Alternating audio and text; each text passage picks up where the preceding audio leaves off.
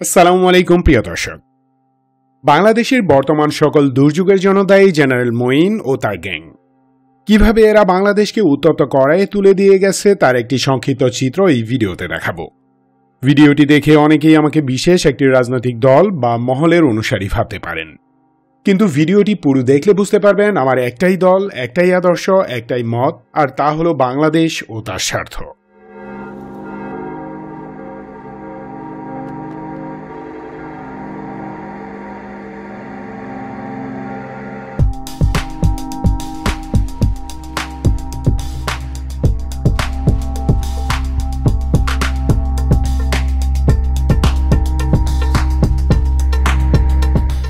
মিলেনিয়ামের শুরুতে সারা বিশ্বে একক আধিপত্য প্রতিষ্ঠার উদ্দেশ্যে সামগ্রিক পশ্চিমা দুনিয়া কয়েকটি অপারেশন লঞ্চ করে। Global war on terror, liberalism, free speech এবং গ্লোবালাইজেশন তার অন্যতম প্রধান। এই টুলগুলি ইউজ করে বিশ্বব্যাপী একটি একক ইকোনমিক সিস্টেম, আধিপত্যবাদী political mechanism, cultural aggression world wide military dominance এবং পশ্চিমের নির্ধারিত এডুকেশনাল পলিসি ইমপ্লিমেন্ট করা শুরু করে তারা। এসব প্রজেক্ট বাস্তবায়নের মাধ্যমে বিশ্বের বড় বড় দেশগুলোকে বগল তলায় নেওয়ার চেষ্টা করা হয়।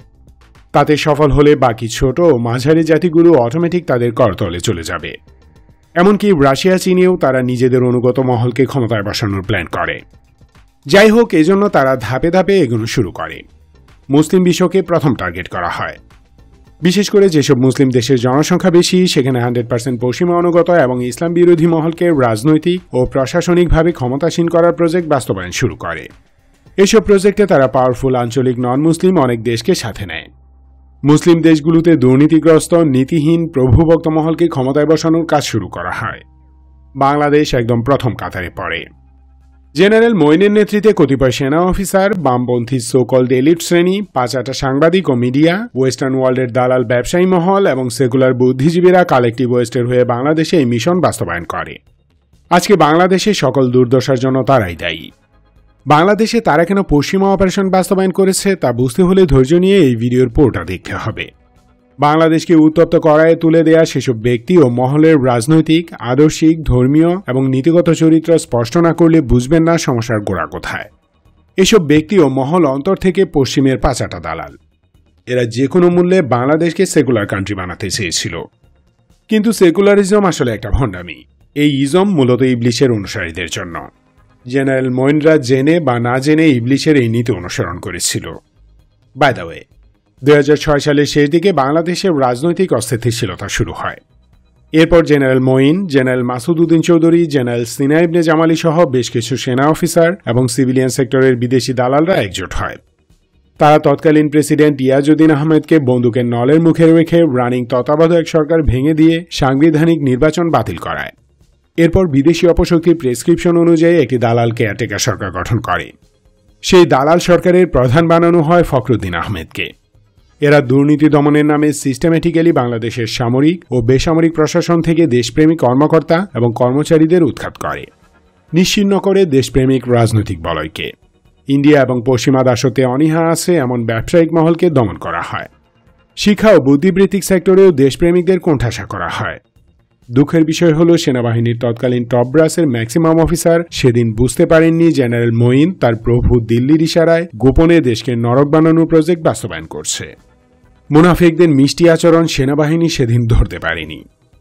এই মিশনের মূল ব্যক্তিরা যারা সামনে ও পিছন থেকে দুই বছরে সেই মিশন বাস্তবায়ন করেছে, তারা সেনাবাহিনীকে কিছুই আন্দাজ করতে দেয়নি। প্রশাসনের সকল পর্যায়ে তারা এটা বুঝিয়েছে যে বিএনপি বাংলাদেশকে ধ্বংস করছে। তারা যদি আবারও ক্ষমতায় আসে, তাহলে বাংলাদেশ আফগানিস্তান হয়ে যাবে। কিন্তু সেই স্ক্রিপ্ট ছিল দিল্লির তৈরি।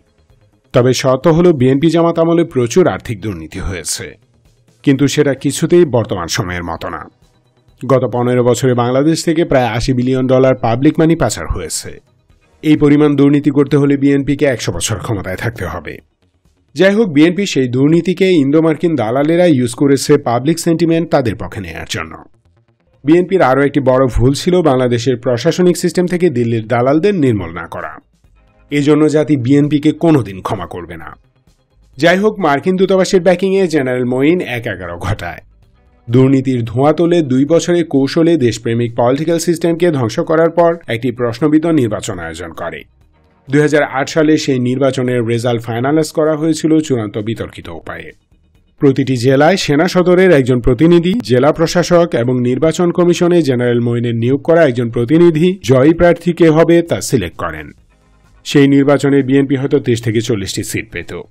মেজরিটি থাকতো আওয়ামী লীগের হাতে। কিন্তু মেকানিজম করে জেনারেল মঈন আওয়ামী লীগকে অবিশ্বাস্য সংখ্যাগরিষ্ঠতা দেয়। ফলে দুই হাজার আটের নির্বাচন নিয়ে সূক্ষ্ম একটি প্রশ্ন থেকেই যায়। এগারো জানুয়ারি দুই হাজার সাত থেকে একত্রিশ ডিসেম্বর দুই হাজার আট পর্যন্ত যারা বাংলাদেশ শাসন করেছে, আদর্শিকভাবে তারা ছিল দিল্লি এবং ওয়াশিংটনের পালতু। তারা প্রশাসনের বাকি অংশকে বুঝিয়েছে, বিএনপিকে ধ্বংস না করলে এদেশে আফগানিস্তানের মতো ধর্মীয় উগ্রগোষ্ঠীর উদয় হবে। তবে বাস্তবতা ছিল ভিন্ন। বিএনপি একমাত্র রাজনৈতিক দল যারা কার্যকরভাবে বাংলাদেশে ভুয়া ইসলামী জঙ্গিদের কোমর ভেঙেছিল।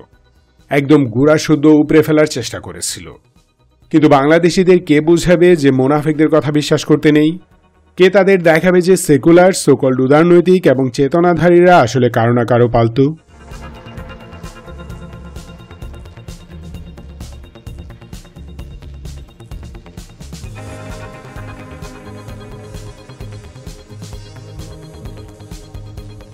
জেনারেল মোয়েন গৃহপালিত কেয়ারটেকার সরকার প্রতিষ্ঠা করে মূলত সামরিক শাসন চালিয়েছে। সবকিছু হয়েছে তার নির্দেশে। কেউ তার আসল উদ্দেশ্য ধরে ফেললেই তাকে উঠিয়ে নিয়েছে ডিজিএফআই। জেনারেল মঈন নানা অজুহাতে প্রকাশ্যে বাংলাদেশের প্রশাসনিক সিস্টেমে সরাসরি দিল্লির এজেন্টদের ঢুকিয়েছে। নির্বাচন কমিশন থেকে শুরু করে গ্রামের আনসার ভিডিপি পর্যন্ত সকল স্টেট ইনস্টিটিউট ভারতীয় দালালদের হাতে তুলে দিয়েছে ঘোরামইন বাংলাদেশ বিরোধী প্রতিটি উপাদানকে শক্তিশালী করেছে সে। বাংলাদেশের পলিটিক্যাল সিস্টেমকে পঙ্গু করার পাশাপাশি মইনের ডগ স্কোয়াড গণমাধ্যমের উপর হামলে পড়ে। কয়েক dozen pro Bangladeshi newspaper ও টিভি চ্যানেল বন্ধ করে দেয় তারা। মাস মিডিয়া তুলে দেয় দিল্লির পালা নেরিদের হাতে। তত্ত্বাবধায়ক প্রশাসন, দিল্লির পালতু গণমাধ্যম, এদেশীয় দালাল শ্রেণি সবাই মিলে সূক্ষ্ম চাল চালে। বিএনপি জামাত দমনের আড়ালে দেশপ্রেমিক গোষ্ঠীকে ধ্বংস করে। আর দেশবাসীকে দেখায় যে তারা বিএনপিকে মারছে। নগদ নারায়ণে বিশ্বাসী বাংলাদেশিরাও ঘোরামইন গ্যাংয়ে সেই টোপ গিলে নেয়। আটকে যায় দীর্ঘ ফাঁদে। রাশিয়ার প্রতিটি পর্যায় থেকে প্যাট্রিয়টিক পার্সনদের নির্মূল করার পর নির্বাচন দেয়। নির্বাচনের মাস দুয়েক আগে থেকে শুরু হয় এক ভয়ঙ্কর নীল নকশার বাস্তবায়ন। General Moin, general Sina Ibne Jamali general Masud Uddin চৌধুরীরা Bangladesh সেনাবাহিনীর সুদক্ষ চৌকস দূরদর্শী, বিচক্ষণ এবং সাহসী সেনা অফিসারদের পিলখানায় ট্রান্সফার করতে থাকে। দুই হাজার নির্বাচনের পর দুই হাজার নয়ের জানুয়ারিতে সেই ট্রান্সফার মিশন সম্পন্ন হয়। এরপর ফেব্রুয়ারিতে বিডিআর সপ্তাহের সময় ষড়যন্ত্রের ফাইনাল স্টেজ বাস্তবায়ন করা হয় ডান্ডিয়ান খুনে সংস্থার সাহায্যে। মঈন তখন সেনাপ্রধান ছিল। ম্যাসাকারের সময় পিলখানায় আর্মি অপারেশন ঠেকায় এই শহীদ করে সাতান্ন জন সেনা অফিসারকে, যারা বাংলাদেশকে ভারতীয় হায়ানাদের হাত থেকে বাঁচাতে পারত। পিলখানা ষড়যন্ত্রের পর সেনাবাহিনী সহ দেশের প্রতিটি সরকারি প্রতিষ্ঠানে একটা ভয়ের রাজত্ব কায়েম করা হয়। এমন ভয় ছড়ানো হয় যে যারা ভারতের বিরুদ্ধে যাবে, তাদেরকেই পিলখানার মতো সাফ করে দেয়া হবে। আর সেই থেকে চলছে নোংরা নেংটিদের আধিপত্য। অথচ বাস্তবতা হলো এই ভয় ছাড়া তাদের আর কোনো অস্ত্র নেই। এই ভয়কে জয় করতে পারলেই বাংলাদেশ চূড়ান্তভাবে মুক্ত হবে। আমাদের রাশীয় নিরাপত্তার জন্য সুপার পাওয়ার চায়না এবং অন্যান্য আঞ্চলিক শক্তি পাশে দাঁড়াবে। দিল্লি আমাদের একটা কোকরা ছিটতে পারবে না। ইটস গ্যারান্টেড ভিডিওর এই পর্যায়ে এসে নিশ্চয়ই বুঝতে পারছেন কীভাবে ঘোড়ামইন বাংলাদেশকে দিল্লির খুনিদের হাতে তুলে দিয়ে গেছে। যদি না বুঝে থাকেন, তাহলে ভিডিওটি আবার দেখুন। তবে মাত্র কয়েক মিনিটে এত বিশাল ষড়যন্ত্রের ইতিহাস তুলে ধরা অসম্ভব। এ বিষয়ে আরও দু একটি ভিডিও বানানোর ইচ্ছে আছে। যদি আপনারা সাড়া দেন, তাহলে আমি বানাবো। আপনাদের সাড়া না পেলে হতাশ লাগে।